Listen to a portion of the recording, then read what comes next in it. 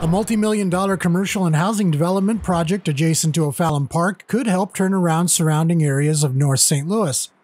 Alderman John Collins Muhammad welcomes the project and has high hopes it may rekindle North Side development and bring communities back together.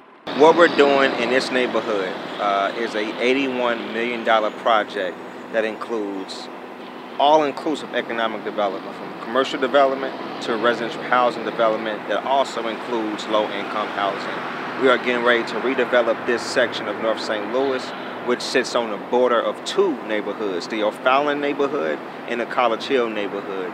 We're getting ready to do and transform four blocks off of the West Florissant corridor to make it healthier, make it livable, and give us some real development and sustain these neighborhoods.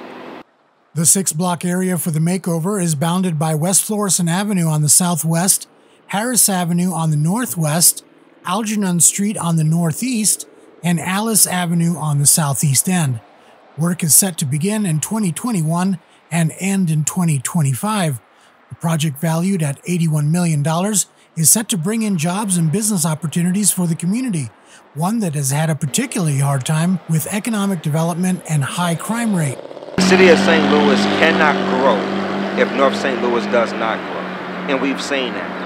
We have redeveloped Southwest City. We redeveloped downtown. We redeveloped the Central West End. We redeveloped the mid-town uh, corridor. If we do not redevelop North St. Louis, our city cannot grow. Plans call for building new single-family houses and subsidized apartments, rehabbing and saving historically important structures, as well as introducing new businesses if, if you don't believe in North St. Louis, and you come from North St. Louis, if you don't believe in our communities, if you don't believe in our neighborhoods, if you don't believe that we can rebuild uh, North St. Louis block by block, brick by brick, then who else would? AMJ Investment Group and St. Louis's Kwame Building Group are partnering on this project to make it a reality. Money for the project will be generated out of tax subsidies and private funding. The development will straddle two North City neighborhoods, O'Fallon on the north end and College Hill on the south end. Alderman Collins Muhammad is confident this will have a trickle down effect on adjacent neighborhoods. All we need is that little push. You give us that little push, then we're going to take it and we're going to go farther than anybody could ever expect. For Metro STL, I'm James Klein.